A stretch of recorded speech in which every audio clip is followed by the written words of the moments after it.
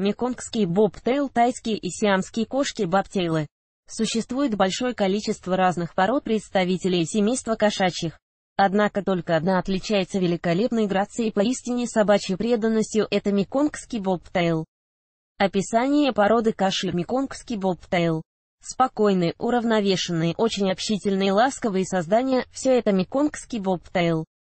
Представители данной породы имеют ряд качеств, присущих собакам, такие как общительность и любовь к тактильным ощущениям. Меконгский бобтейл характер животного позволяет его держать в доме, где есть маленькие дети. Питомец будет терпеливо относиться к маленькому члену семьи и играть с ним по мере возможностей. История возникновения, где именно появилась впервые эта порода кошек, сказать сложно. Мнения специалистов до сих пор расходятся. Однако единым остается то, что их предком является тайская кошка. Согласно одной из известных легенд, представители данной породы в далекие времена занимались охраной тайских принцесс. Кошки сопровождали своих хозяек даже во время купания и позволяли вешать украшения на их загнутые хвостики. Тайский бобтейл их история тянется уже не одно столетие. Тайский бобтейл появлялся и в Таиланде, и в Китае, и в других азиатских странах.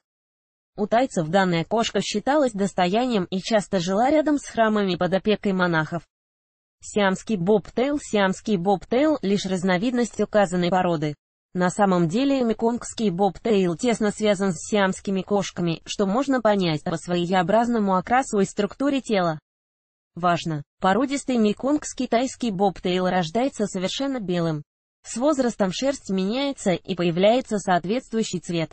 Характеристики меконгского бобтейла. Кошки данной породы являются короткошерстными и обладают маленьким хвостиком. Животное достаточно элегантное, но при этом сильное и выносливое. Это весьма любознательное существо, которое сильно привязывается ко всем членам семьи. Меконгский бобтейл, мальчик или девочка, это друг ребенку, который с удовольствием поддержит игру и будет спать с малышом в одной кровати. Стандарт породы представителей данной породы имеет прямоугольное тело, крепкие и развитые лапы с хорошей мускулатурой.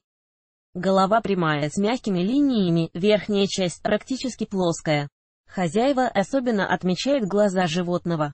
Они достаточно большие и овальной формы яркого голубого оттенка. Уши широкие полукруглые. Котики имеют достаточно выраженную массивную нижнюю челюсть. Обратите внимание, Самым ярким показателем породы является короткий хвост. Он может состоять из разных комбинаций узлов, крючков. Минимально хвост должен доходить до позвоночника.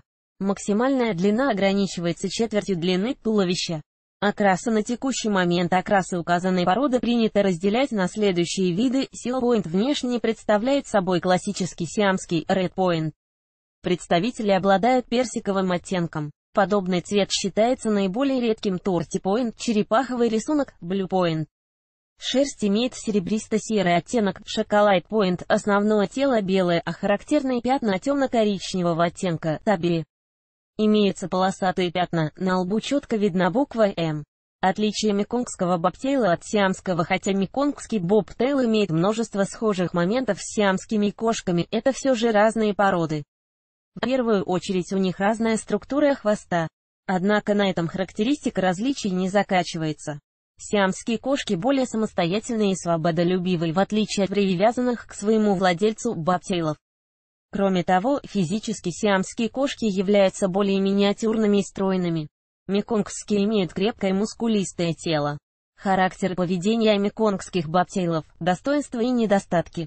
Как уже говорилось, меконгский бобтейл – это кошка, которая по поведении очень напоминает собаку. Котенок и взрослый кот всегда стремятся находиться рядом с хозяином, преследуют человека, когда тот занимается домашними делами. Воспитание и дрессировка животное достаточно умное, обладает хорошей памятью. Кошка меконгский бобтейл хорошо поддается дрессировке. При желании ее можно выучить приносить какие-то предметы, например, тапочки. Питомец воспитанный, даже интеллигентный. Один раз приучив котенка к туалету, человек уже не беспокоится об этой проблеме. К сведению, в кошачьей семье доминирующее положение занимает самка. При этом обязанность по воспитанию котят ложится на плечи самца. Здоровье кошек Меконгский бобтейл. Данные котики отличаются весьма хорошим здоровьем. Тем не менее, хозяевам рекомендуется проводить профилактический осмотр не менее двух раз в год. Не стоит забывать и о вакцинации, даже если питомец не покидает пределов квартиры. Важно, вне зависимости от породы владельцу необходимо внимательно следить за своим любимцем. При появлении отклонений в поведении лучше всего обратиться к врачу. Болезни кошек здоровье у данных котов отменное. Однако их слабым местом являются зубы недуги, связанные с ними. Часто у них развивается парадонтоз. Поэтому заводчику стоит обращать внимание на следующие симптомы потеря аппетита, запах изо рта, кровоточащая или воспаленная десна. Повышенное слюноотделение. Сколько живут коты меконгского бобтейла среди кошачьей братьев меконгский бобтейл считается долгожителем. Большинство питомцев доживает до 18-20 лет. В истории встречался случай, когда кошка данной породы дожила до 38 лет. Уход за меконгскими бобтейлами. За котиками достаточно легко ухаживать.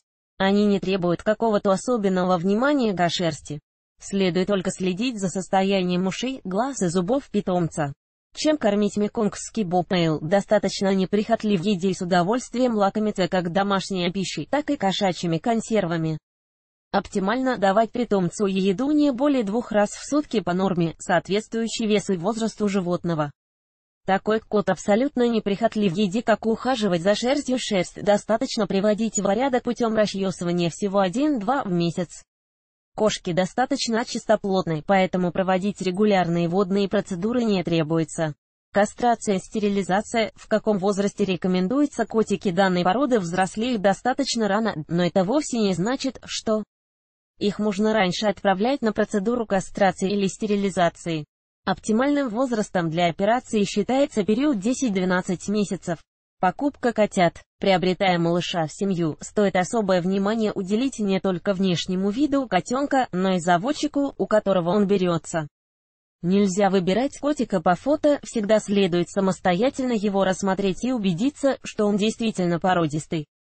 На что обратить внимание при выборе котенка, в первую очередь каждый породистый малыш должен иметь соответствующие документы. Без этого нельзя со стопроцентной уверенностью сказать о наличии у него родословной. К выбору котенка нужно подойти ответственно, также следует помнить, что новорожденные малыши белые. Поэтому рекомендуется брать котика, достигшего 2-3 месяцев, когда окрас уже проявляется. Лучшие заводчики и питомники котенка данной породы могут вывести питомники и в домашних условиях. В России достаточно много заводчиков, которые занимаются разведением меконгских бобтейлов. При необходимости можно найти котят в Москве, Санкт-Петербурге, Мурманске и других городах. Сколько ориентировочно стоит котенок, стоимость зависит от того, где именно приобретается котенок. В официальных питомниках цена одного котика может составлять от 20 тысяч до 40 тысяч руб. Звездочкой заводчики берут меньше от 10 тысяч до 20 тысяч руб. Однако в последнем случае чаще всего случаются обманы. Кошки – прекрасные существа, которые любят своих хозяев. Взяв домой меконгского бобтейла, человек обретет надежного, преданного мурчащего друга на долгие годы. Звездочка цены указаны на сентябрь 2019 года.